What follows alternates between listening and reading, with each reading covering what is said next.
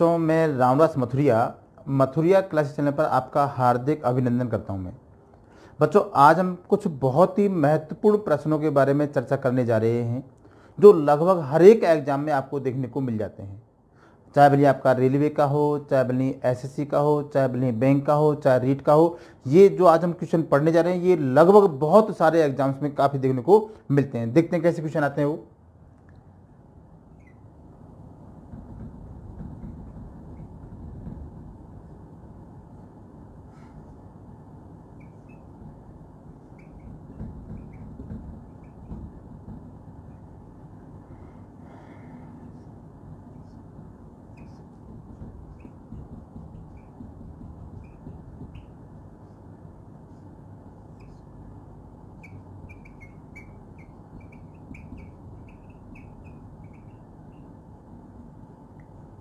बच्चों, ये क्वेश्चन आपको एग्ज़ाम में बहुत ज़्यादा देखने को मिल रहे होंगे। अब देखो, इन प्रश्नों को करने से पहले मैं आपको एक बहुत ही महत्वपूर्ण सूचना देना चाहता हूँ मैं। अभी हम दो तीन दिन के बाद में हमारी नई टीम के साथ में हम आपके सामने लाइव आ रहे हैं।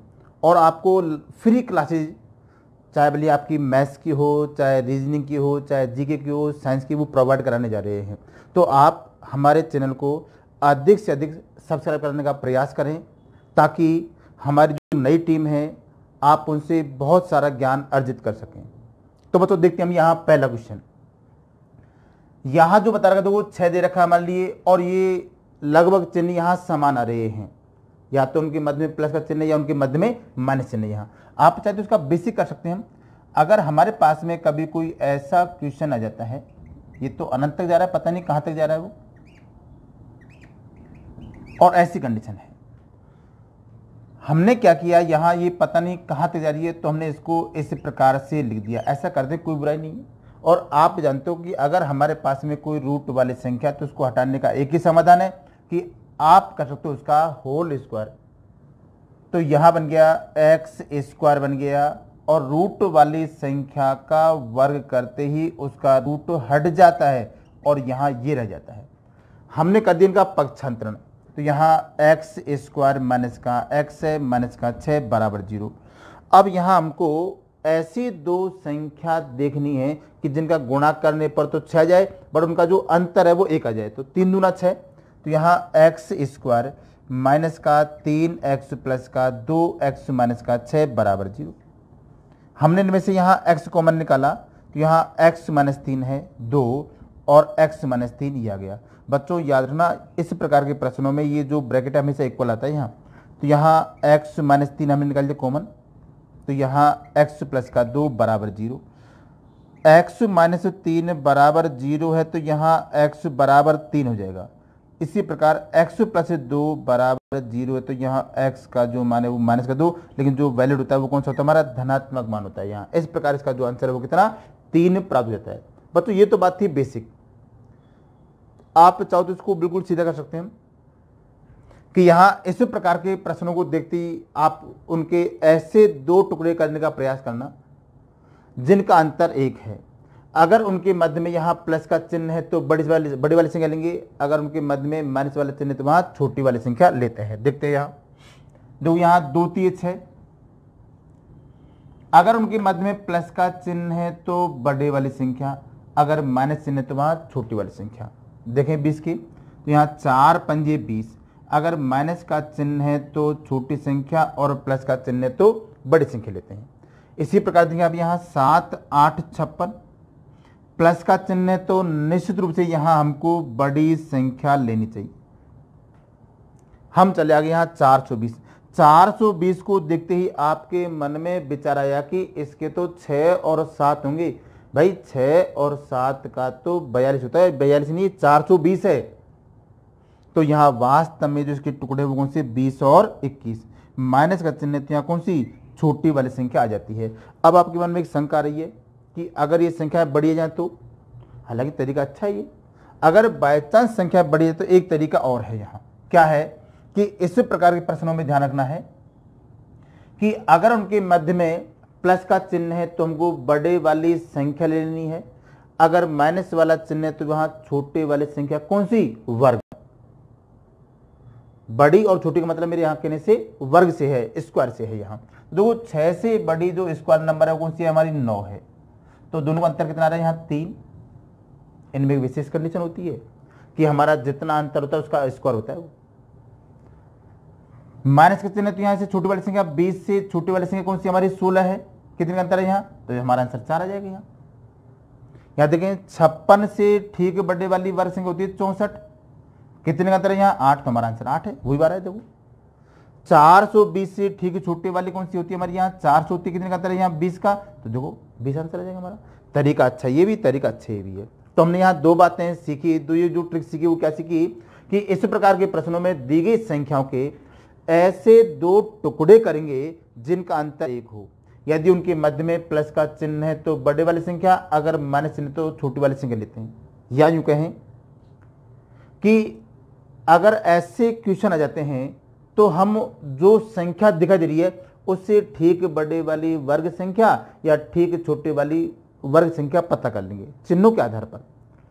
तो जितना उनका अंतर है, वही हमारा आंसर प्राप्त हो जाता है। बट कई बार ऐसी घटना हो जाती है कि वहाँ उन संख्याओं के टुकड़े ही नहीं हो पाते हैं। तो फिर ऐसी कंडीशन में क्या करें? तो इनके लिए हम एक फॉर्मूला और पढ़ लेते हैं यहाँ। यहाँ होता है चार एक्स प्लस एक का रूट होता है और प्लस माइनस एक बटे में दो होता है। ये सबके लिए है। अगर क्वेश्चन में वहाँ प्लस का चिन्ह है तो आप प्लस का चिन्ह यूज़ करोगे आप। अगर क्वेश्चन में वहाँ माइनस वाला चिन्ह है तो वहाँ माइनस वाला चिन्ह यहाँ। एक्स का मतलब प्रश्न में जो दी गई संख्या है। तो यहाँ देखो पहला जो हमारा क्वेश्चन है उसमें संख्या दे रखी है छह तो चार। यहाँ छ और प्लस एक बटे में दो है। तो छह चौक चौबीस रुपये पच्चीस और प्लस एक बटे में दो। और हमने पच्चीस का निकाला, वर्गमूल कितना? पाँच आ गया। और यहाँ छह बटे दो का मतलब कितना? हमारा तीन आंसर आ रहा है। तो वही तो आंसर आ रहा है हमारा। आप इसको ऐसे कर लें, चाहे ऐसे कर लें, चाहे ऐसे कर लें, चाहे तो जैसे मैंने बताया था बेसिक वैसे कर सकते हैं। जो भी आपको सीटेबल लगे यहाँ। अब तो इसी पैटर्न में हम यहाँ एक नया क्वेश्चन और देते हैं। अभी क्या था यहाँ? इनके मध्य में जो कंडीशन थी, वो क्या थी कि इनके मध्य में समान चिन्ह थे, या तो प्लस के ही चिन्ह थे, या फिर वहाँ माइनस के चिन्ह थे। तो देखते हैं आगे हम, दूसरी कंडीशन क्या बनती है?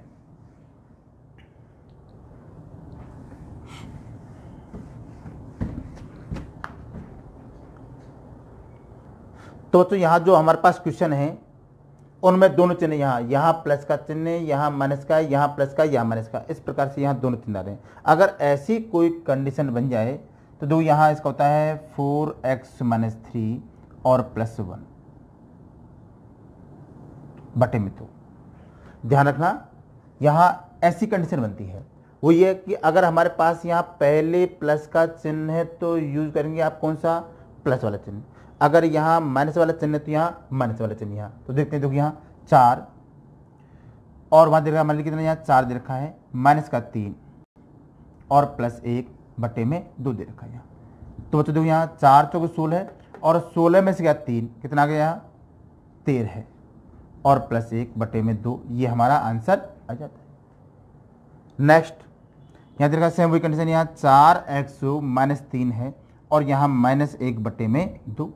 तो चार, यहाँ एक्स का जो मान है वो कितना हमारा यहाँ? पाँच दे रखा है। माइनस का तीन है और माइनस एक बटे में दो दे रखा है। तो देखते हैं यहाँ देखो, पाँच चौके बीस बीस में से क्या तीन? तो कितना गया यहाँ? तो यहाँ सत्रह का रूट माइनस एक बटे में दो, इस प्रकार से हम ऐसे प्रश्नों को हल कर सकते हैं। अब जो बच्चों हमने यहाँ ये सामान्य चिन्ह, असमान चिन्ह वाली बात कर ली अभी हमने जो पीछे क्वेश्चन पढ़े थे, उनमें एक नई कंडीशन और बन जाती है कई बार। मान लेते हैं हमारा उसमें ऐसा क्वेश्चन आ जाए कोई। अभी हम इनसे पहले पढ़ रहे थे कि उनके ऐसे दो टुकड़े करते हैं जिनका अंतर एक हो। तो यहाँ उनमें से कोई भी कंडीशन अप्लाई नहीं हो रही है। न तो उसके टुकड़े हो रहे हैं ने जोड़ने घटाने पर वहाँ वो वर्ग संख्या है, वो अंतर के स्क्वायर के बराबर है वहाँ। तो कोई भी कंडीशन अगर अप्लाई नहीं हो रही है वहाँ तो इन सब के लिए हमने एक फॉर्मूला तो पढ़ ही रखा है। ये क्वेश्चन बहुत ज़्यादा आता है। या तो तीन तीन आता है वहाँ, या फिर वहाँ एक एक आता है। बहुत ज़्यादा देखने को मिलता है ये क्वेश्चन यहाँ। तो बच्चों, यहाँ एक्स का जो मान है वो कितना है? हमारे पास तीन है। अगर वहाँ चिन्ह प्लस का है तो प्लस का और माइनस का तो माइनस का वहाँ। बटे दो। तो दो यहाँ चार तीर बारह और तेरह है। और प्लस एक बटे में दो। अब यहाँ क्या है कि हमारे सामने थोड़ी सी समस्या फंस गई। और देखो, सबसे अच्छी बात, ऐसे प्रश्नों का जो आंसर है ना, वो हमेशा पूरा नहीं आता है। वहाँ आता है एक से दो के बीच, दो से तीन के बीच, तीन से चार के बीच, और चार से पाँच के बीच।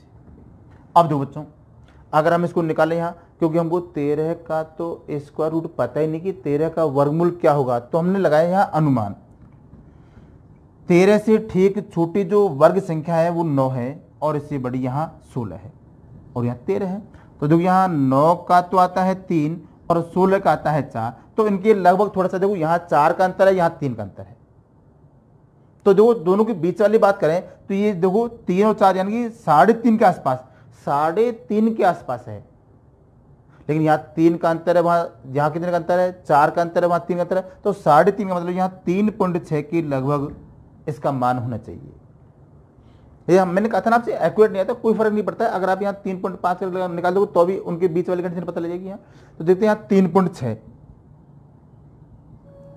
प्लस का एक बटे में दो तो देखो, तीन पॉइंट छह और एक, यहाँ बन गया कितना? चार पॉइंट छह बटे दो, और यहाँ देखो, दो दूना चार, दो तीन छह तो यहाँ दो पॉइंट दो तीन, दो पॉइंट तीन किसके? तो दो पॉइंट तीन का मतलब वो संख्या दो व तीन के बीच में प्राप्त तो होती है। तो बच्चों, हम इस प्रकार से बहुत ही अच्छे प्रश्नों को हल कर सकते हैं। हमने यहाँ पढ़े थे कि उनके मध्य में प्लस का चिन्ह हो या माइनस चिन्ह हो या दोनों चिन्ह हो। अगर बाई चांस हमको उनके बीच में कोई भी चिन्ह दिखाई नहीं दे रहा हो, ऐसा नहीं कि वहाँ चिन्ह नहीं होता, चिन्ह तो होता है, लेकिन हमको दिखाई नहीं देता वहाँ। जैसे कि ऐसे क्वेश्चन आपने बहुत देखे होंगे।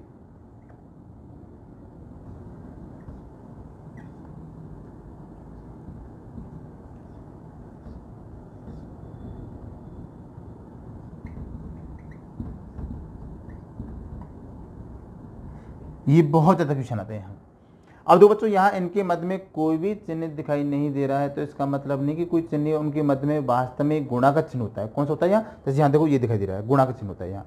अब दो इनको करे कैसे? आप चाहे तो इसको बीस कर सकते हैं।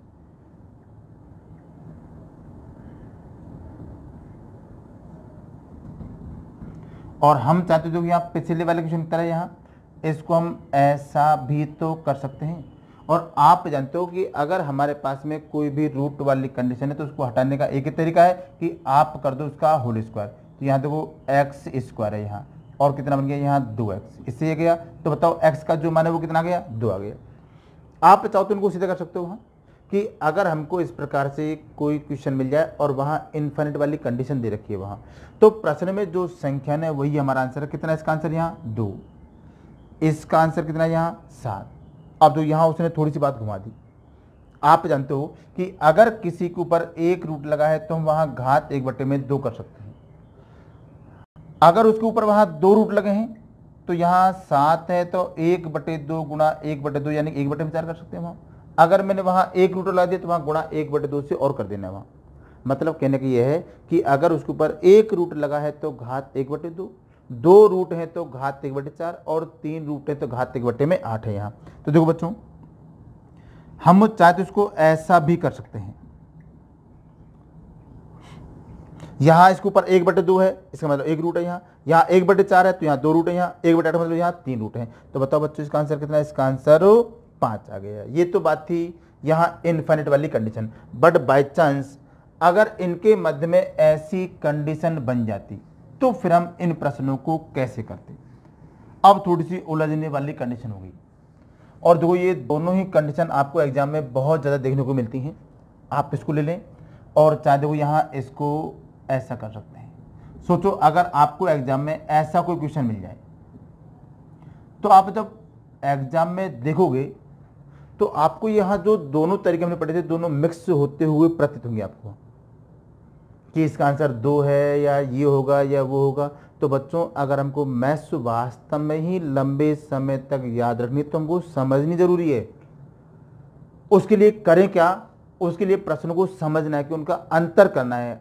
अंतर कैसे करना है? देखो, अब तक हमने जितने भी ये क्वेश्चन पढ़े थे यहाँ इन्फिनेट वाली कंडीशन में, या तो टुकड़े हो रहे थे वहाँ, बहुत जल्दी हो रहे थे वहाँ। आप इसको ऐसा माने कि ये पूछ वाली कंडीशन है और ये बिना पूछ वाली है। तो आप जानते हो दुनिया के अंदर जितने भी पूछ वाले प्राणी बेचारे सब सीधे हैं। सबसे खतरनाक प्राणी इंसान है बिना पूछ वाला। तो हमने देखो जितने भी पूछ वाले क्वेश्चन पढ़े, उनके आंसर फटाफट आ रहे थे वहाँ। अब तो ये बिना पूछ वाला ये तो ये अगर टेढ़ आए तो इसका आंसर भी टेढ़ आएगा यहाँ। देखते हैं कैसे। चाहे तो आप यहाँ इसके लिए ट्रिक पढ़ सकते हैं यहाँ। कोई संख्या है और यहाँ दो की पावर एन माइनस एक और बटे में यहाँ दो की पावर एन होता है यहाँ। तो बच्चों देखें यहाँ। एन का मतलब वहाँ वो संख्या कितनी बार लिखी हुई है यहाँ? तो यहाँ ये तीन बार है तो यहाँ दो की घात तीन माइनस एक बटे में यहाँ दो घात तीन, आठ, गया एक, सात, बटे में आठ। तो हमारे पास जो भी संख्या है उसकी पावर हमको यहाँ ये लगा देंगे तो हमारा जो आंसर वो कौन सा यहाँ? दो की पावर सात बटे में आठ। आप तो चाहो तो इसको ऐसा कर सकते हो। इसको ऐसा कर लें, ऐसा ना करें तो कैसे देखो यहाँ? अभी पढ़ा था हमने यहाँ कि अगर उसके ऊपर एक रूट लगा है तो एक बटे दो दो रूट लगे हैं तो एक बटे चार और तीन है तो वहाँ एक बटे आठ कर सकते हैं।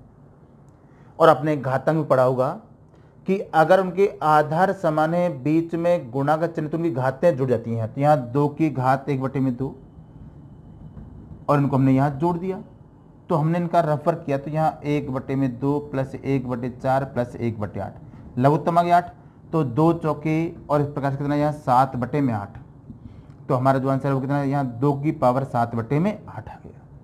तो देखो, यहाँ जो घात है ना, तीन बार। तीन बार अगर वहाँ घात आ रही है तो उसकी कंडीशन सात बटे आठ बनेगी। अगर आप थोड़ा सा समझदारी से काम लो और रेगुलर प्रैक्टिस करो तो इन प्रश्नों को दो या तीन सेकंड में आसानी से कर सकते हो आप। कैसे? मान लेते हैं, अगर हमारे पास में ऐसा कोई क्वेश्चन मिल जाए